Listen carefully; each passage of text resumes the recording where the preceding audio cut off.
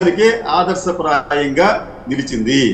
అయితే అనేక విషయాల్లో ఇప్పటికీ కూడా ఆ రాష్ట్రంలోని మేధావులు సామాన్య ప్రజలు కూడా కేసీఆర్ ప్రభుత్వాన్ని తీవ్రంగా దుయ్యపట్టే పరిస్థితి ఉంది. అంటే గతంలో కేసీఆర్ గారితో ఎవరైతే చెట్టుపటాలు వేసుకుని తిరిగి ఉద్యమాన్ని నిర్వహించారో వారంద వారిలో అత్యధికులు ముఖ్యంగా మేధావులు పూర్తిగా ఆయన నుంచి దూరం అయ్యారు.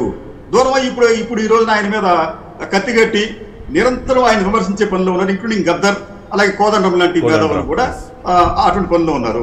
ఇక్కడ చాలా తరచుగా ఈ తెలంగాణ పాలకులు ఏం చెప్తారంటే మా మా రాష్ట్రం అద్భుతంగా అభివృద్ధి చెందింది ఈ రోజున తలసరి ఆదాయంలో దేశ తలసరి ఆదాయంలో తెలంగాణదే అగ్రస్థానం. దాదాపు మూడు లక్షల పదిహేడు వేల రూపాయల తలసరి ఆదాయం ఉంది. నిజంగానే అది తలసరి ఆదాయంలో అగ్రస్థానంలో ఉన్నారు. దానికి కారణాలు కూడా చెప్తాం మనం అది. అయితే నిన్న చిన్న- సార్ ఇదే విషయాన్ని సత్యనపల్లి సభలో చంద్రబాబు నాయుడు గారు కూడా ప్రస్తావించారు. మీరు నోటీస్ ఉంటారు. నోటీస్ చేసి ఉంటారు. తెలంగాణ ఇప్పుడు పర్ క్యాపిటా ఇన్కమ్లో హైయెస్ట్ ఉంది. ఆంధ్రప్రదేశ్తో కంపేర్ చేస్తే చాలా ముందు ఉంది దేశంలోని ఏ రాష్ట్రంలోనూ లేని విధంగా మూడు లక్షల పదిహేడు వేల కోట్లు. అని చెబుతూ అది తాను చేసిన ఘనతగా చెప్పుకునే ప్రయత్నం చేశారు. నిన్న చూశాను అందుకే నేను మీకు గుర్తు చేస్తున్నాను. సత్యనపల్లి సభలోనే.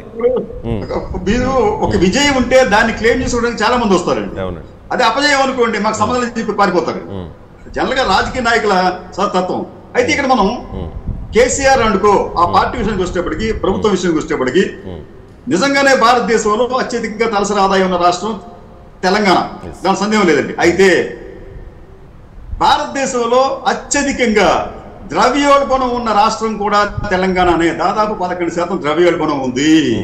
ఈ విషయాన్ని కేసీఆర్ కావచ్చు హరీష్ రావు కావచ్చు కేటీఆర్ కావచ్చు కే కవిత గారు కావచ్చు ఎక్కడ దాన్ని ప్రస్తావించరు.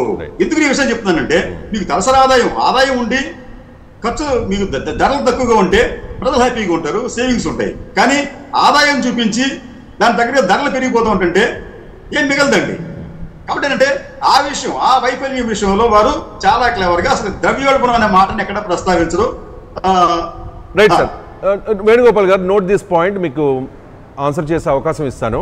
కృష్ణరాజు గారు ఇప్పుడు తెలంగాణను సాధిస్తామన్నప్పుడు అవహేళన చేసిన వాళ్ళు ఈయన వల్ల ఏమవుతుంది అనుకున్న వాళ్ళు తర్వాత రియలైజ్ అయ్యి ఇప్పుడు సభాష్ అని అంటూ ఉన్నారు ఇక్కడ జరుగుతున్న అభివృద్ధి మిగిలిన రాష్ట్రాలతో కంపేర్ చేస్తే మీరు ఖచ్చితంగా చెప్తారు ఆంధ్రప్రదేశ్ తెలంగాణ రెండు రాష్ట్రాలు విడిపోయిన తర్వాత ఏ రాష్ట్రం అభివృద్ధిలో ఉంది అంటే చిన్నపిల్లని అడిగినా చెప్తాడు ఆంధ్రప్రదేశ్లో ఏ పౌరుని అడిగినా చెప్తాడు తెలంగాణ ఖచ్చితంగా అభివృద్ధిలో ఉంది అని చెప్పేసి.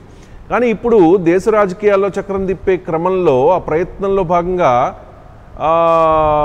చాలా ప్రయత్నాలు చేశారు. చాలామందిని కలిశారు. మమతా బెనర్జీని కలిశారు స్టాలిన్ కలిశారు కేజ్రీవాల్ని కలిశారు. గతంలో ఆవిర్భావ దినోత్సవం స- ఆవిర్భావ సభలో జేడిఎస్ నుంచి కుమారస్వామి వచ్చారు. ఇంకా చాలా చాలామంది నాయకులు వచ్చారు. ఇక్కడ ఫస్ట్ మహారాష్ట్రలో అడిగి అడుగు పెట్టినప్పుడు అది నాందేడ్ సభ ఫస్ట్ సభ. మీకు మీరు అబ్జర్వ్ చేసి ఉంటారు. అంటే మామూలుగా ఇప్పుడు చంద్రబాబు నాయుడు గారు వచ్చి మహారాష్ట్రలో మీటింగ్ పెడితే జనాలు వస్తారా? రారు కదా? పోనీ పవన్ కళ్యాణ్ వచ్చి మధ్యప్రదేశ్లో సభ పెడితే వస్తారా? రారు కదా. జగన్మోహన్ రెడ్డి వచ్చి తెలంగాణలో సభ పెట్టినా రారు జనాలు. ట్రైడ్ నా- పాయింట్ మీకు అర్థమై ఉంటుంది. కానీ ఎక్కడ ఆదరణ ఉందో ఎక్కడ నమ్మకం ఉందో అక్కడ ప్రజల నుంచి ఆ ఆ రెస్పాన్స్ వస్తూ ఉంటుంది. మహారాష్ట్రలో ఇప్పటి వరకు నిర్వహించిన నాందేడ్ సభ కందార్ లోహా అండ్ రీసెంట్గా జరిగిన ఔరంగాబాద్. సభ. పోనీ ఈ నాందేడు లోహా ఈ రెండు కూడా కాస్త బోర్డర్లో ఉన్నాయి అనుకుంటే మరి ఔరంగాబాద్ మధ్య మహారాష్ట్రలో ఉన్న ప్రాంతం ఆ ప్రాంతంలో కూడా జరిగిన సభలో ఎంత ఎన్ని లక్షల మంది వచ్చారో మీరు చూశారు. చాలామంది చిన్న చిన్న నాయకులు కాదండి చాలా పెద్ద పెద్ద నాయకులు కూడా అక్కడ జాయిన్ అయ్యారు. మహారాష్ట్రలో ఇప్పుడు అధికారంలో ఉంది భారతీయ జనతా పార్టీ. ఎందుకో మరి అక్కడ ప్రభుత్వ వ్యతిరేకత పెరిగిందో లేకపోతే కేసీఆర్ గారి పాలన చూసి ఇటువంటి పాలనే రావాలని కోరుకుంటున్నారో వాటెవర్ ఏదైనా కావచ్చు. కానీ ఈ అనూహ్యమైన మార్పు వెనుక కారణం ఏంటి? నేను కేటీఆర్ గారు మాట్లాడుతూ చెప్పారు చాలా క్లియర్గా. అసలు మేము ఎక్స్పెక్ట్ చేయలేదు మహారాష్ట్రలో ఇంత రెస్పాన్స్ అని చెప్పేసి. అద్భుతమైన రెస్పాన్స్ వచ్చింది. ఎవరు? కొంతమంది ఏదైనా అనొచ్చు. బట్ ఏంటంటే యాజ్ ఎ జర్నలిస్ట్ మీరు అబ్జర్వ్ చేసి ఉంటారు నేను అబ్జర్వ్ చేశాను. అనూహ్యమైన అద్భుతమైన రెస్పాన్స్. పక్క రాష్ట్రం నుంచి ఒక ముఖ్యమంత్రి పక్క రాష్ట్రంలో ఉన్న ఒక పార్టీ ఇక్కడికి వచ్చి మీటింగ్ పెడితే అద్భుతమైన రెస్పాన్స్. మిగిలిన పార్టీలకి తలదన్నే రీతిలో. ఆ మార్పునకు కారణం ఏంటి? దాన్ని ఏ రకంగా విశ్లేషిస్తారు మీరు? కృష్ణరాజు గారు. ఇక్కడ మీకు మీకు మనం ఇందాక అనుకున్నట్టు కేసీఆర్ గారు గొప్ప వ్యూహకర్త అండి మంచి వాగ్దాటి గల వ్యక్తి. బహుభాషా కవితుడు ఆయన ఉర్దూ మాట్లాడగలడు హిందీ మాట్లాడగలడు ఇంగ్లీష్ మాట్లాడగలడు తెలుగు మాట్లాడగలడు. అవసరం వస్తే మహా మహారాష్ట్రకు సంబంధించిన భాష కూడా మాట్లాడగలడు. ఆయన ఏ ఇన్ని ఇన్ని క్వాలిటీస్ ఉన్న వ్యక్తిలో క్లారిటీ కూడా ఉందండి. చాలా స్పష్టమైన క్లారిటీ ఉంది. ఎదుటి వారిని ఆకట్టుకునే శక్తి ఉంది. దానికి తోడు తెలంగాణ ప్రాంతంలో చేసిన పనులు అంటే కొన్ని శాశ్వతమైన పనులు మీకు కాళేశ్వరం లాంటి ప్రాజెక్ట్ అనేది లక్ష నలభై వేల కోట్ల రూపాయలతో పెట్టిన ప్రాజెక్టు. అంటే దాని మీద విమర్శలు ఉన్నాయి వేరే విషయం అక్కడ.